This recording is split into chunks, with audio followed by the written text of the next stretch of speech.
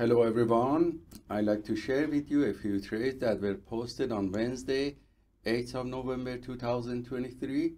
These trades were shared by RA from Seattle who's trading Nasdaq futures. As you see the macro chart is in uptrend at the beginning of the market and we can see also the uptrend channel in the structural chart.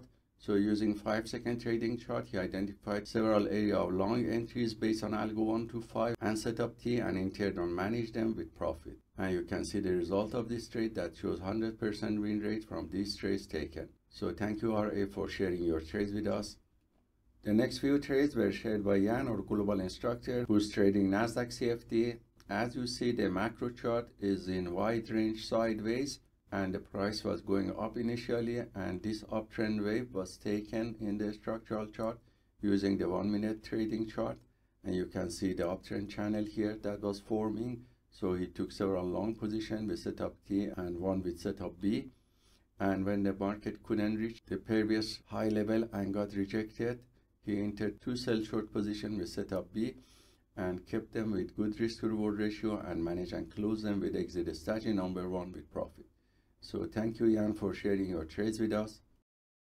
The next few trades are those that I have taken during the New York market session and the video with detailed explanation was sent to students yesterday. So I'm gonna replay the video here for you. Hello everyone. I'd like to share with you the trade that I have taken today on Wednesday 8th of November 2023.